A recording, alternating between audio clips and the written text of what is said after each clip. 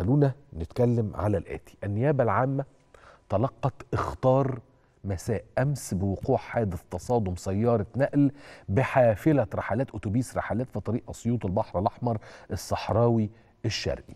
كان وقتها الأتوبيس ده ماشي في الطريق ولكن في الاتجاه المعاكس.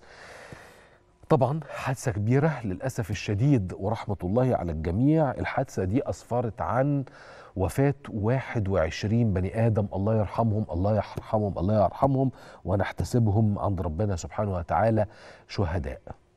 إحنا بنتكلم هنا على وفيات لحد النهارده. طبعا في إصابات موجودين يعني في ثلاث إصابات تحديدا من الناس اللي كانت موجودة جوه الأتوبيس نتمنى إن ربنا سبحانه وتعالى يشفيهم ويعافيهم ويقوموا بألف صحة وسلامة.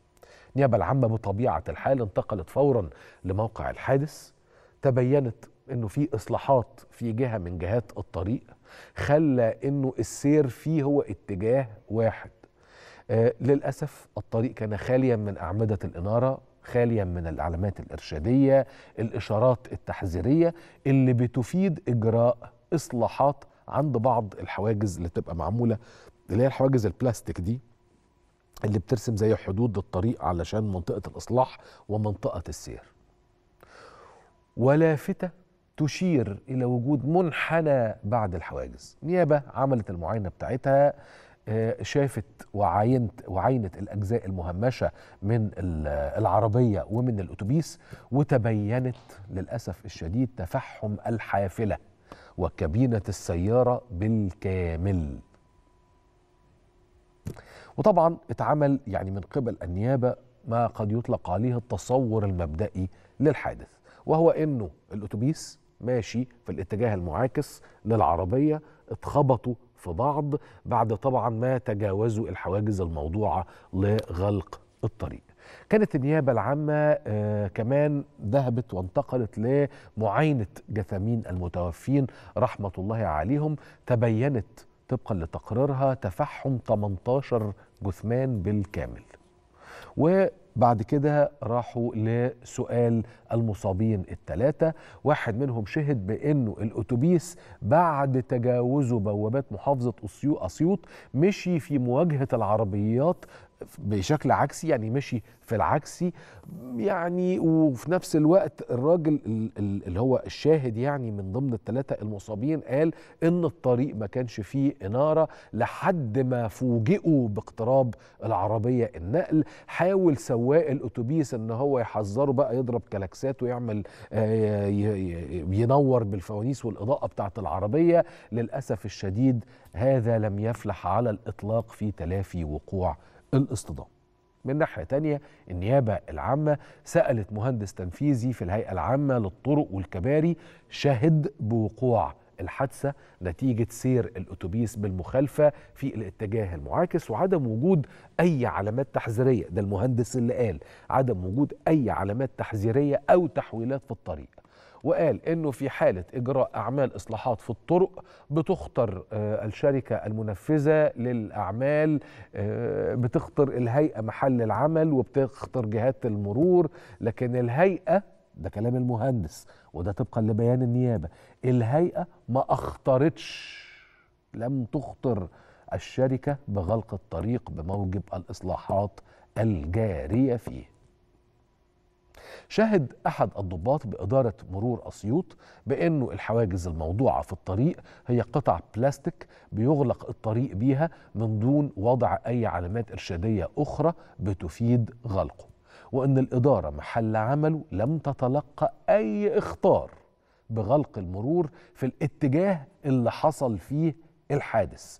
ده في الطريق طبقا للإجراءات اللي المفترض اتباعها عشان يتسنى لإدارة المرور. تقدر إدارة المرور إنها تتأكد من اتخاذ الإجراءات اللي تبقى عبارة عن إنه يتعمل مصادر للإنارة على سبيل المثال يحطوا العلامات التحذيرية الحاجات اللي هي الفوسفورية اللي بتنور دي لما بتسلط عليها الضوء إلى آخره. ولكن لم يتم اختار إدارة المرور.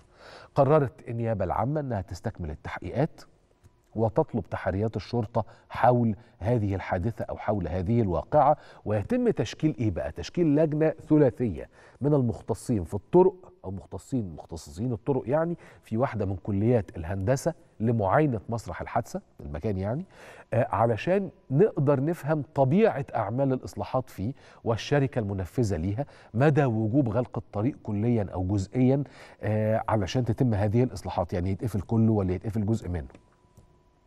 ومدى غلقه فعلا. يعني كان حجم الإغلاق كان قد إيه؟ وإجراء أي تحويلات مرورية فيه. ومدى سلامة الإجراءات ودي حاجة مهمة جدا من الناحية الفنية وتحديد المسؤول عن اتخاذ الإجراءات. طيب إيه كمان؟ كمان لازم آه أو النيابة يعني طالبة إنه آه يتعمل بيان بأي خلل شاب تعلق بهذه الإجراءات.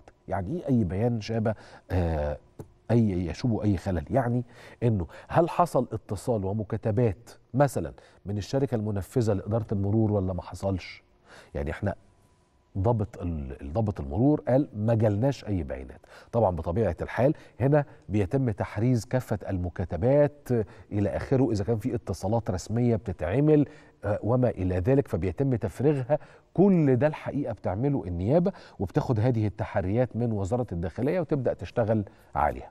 أمرت النيابة بإرفاق صورة رسمية زي ما كنت بقول لكم كده من كافة المخاطبات بين الشركة اللي بتنفذ الإصلاحات حلو والهيئة العامة للطرق والكباري وإدارة المرور المختصة بشأن بقى غلق الطريق أو إجراء التحويلات أو وضع الإنارة أو العلامات الإرشادية إلى آخره. وكمان قررت النيابة أنها تنتدب مختصين بالإدارة العامة لتحقيق الأدلة الجنائية يشوفوا مسرح هذا الحادث يتم انتداب طبيب أو أطباء من مصلحة الطب الشرعي لأخذ عينات من جثامين المتوفين رحمة الله عليهم لاستخلاص البصمة الوراثية. دي إن إيه ومطابقتها مع ذويهم علشان يتم تحديد الهويات. زي ما حضراتكم عارفين في حالة تفحم الحقيقة وبالتالي يتم اتخاذ الإجراءات اللازمة لدفن الجثامين. ورحمة الله على كل المتوفين. وتاني نحتسبهم عند ربنا سبحانه وتعالى شهداء. خبر صعب تقيل مش لطيف لكن هنقول إيه؟ معلش. بإذن الله بإذن الله الحق يوصل لأصحابه وتقف النيابة على كبد الحقيقة.